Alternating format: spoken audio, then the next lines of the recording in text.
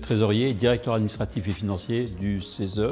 C'est moi qui m'occupe de l'ensemble des éléments budgétaires et comptables euh, du Conseil ainsi que de la gestion des membres.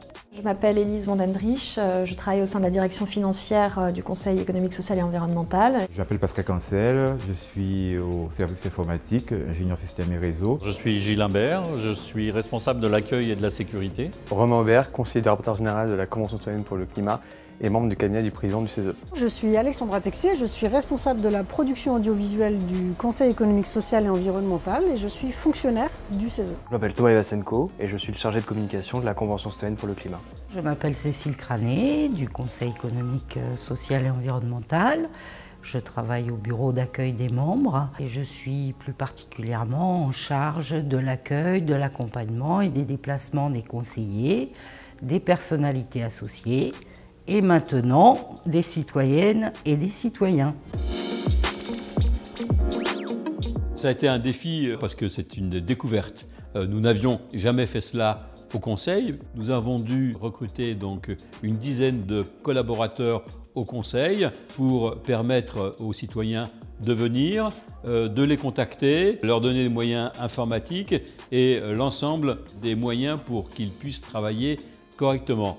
Au-delà de ça, la totalité des moyens euh, humains du Conseil ont été mobilisés pour réussir cette euh, convention, aussi bien pendant la semaine de travail que surtout une très forte mobilisation lors des différents week-ends de 8h du matin jusqu'à 22h ou 23h euh, à chaque fois qu'il y avait une réunion de la convention. Je gère le personnel d'accueil et de sécurité sur la Convention citoyenne. Sur cette dernière euh, session, il y a une chose particulière, c'est l'hygiène sécurité sanitaire qui a été mise en place pour tous les citoyens, pour tous les personnels. Euh, donc euh, ce personnel d'accueil et de sécurité permet aux citoyens d'avoir l'esprit libre de, travailler sur le week-end.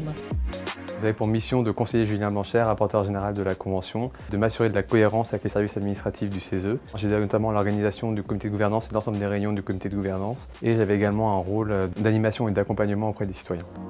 Mon rôle est de préparer les salles de réunion pour que les gens euh, aient tout matériellement euh, parlant euh, pour travailler correctement.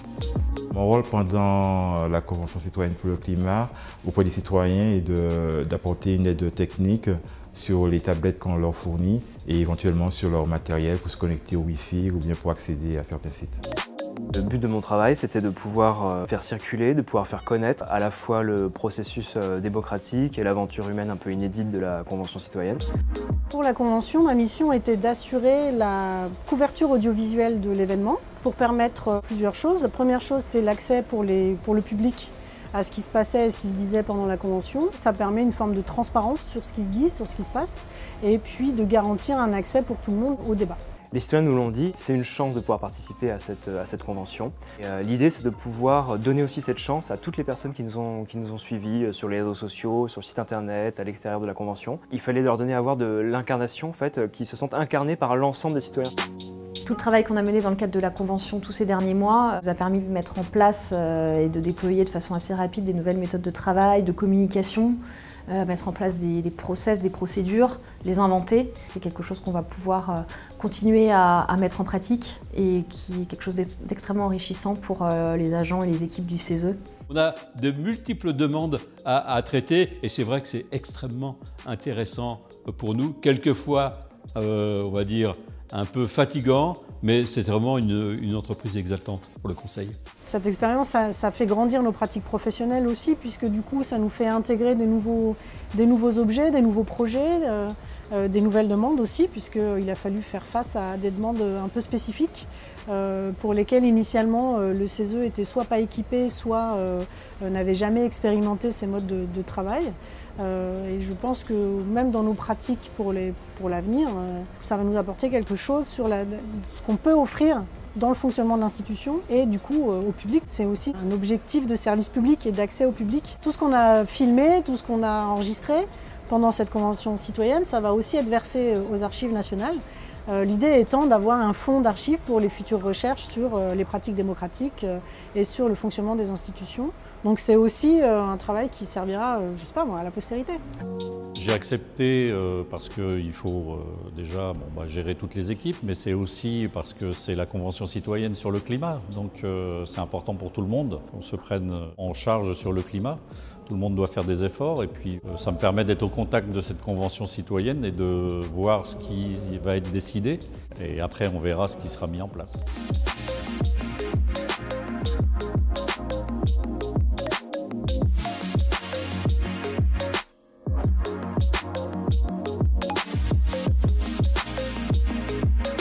C'est un tournant actuellement euh, dans notre vie de CVSE.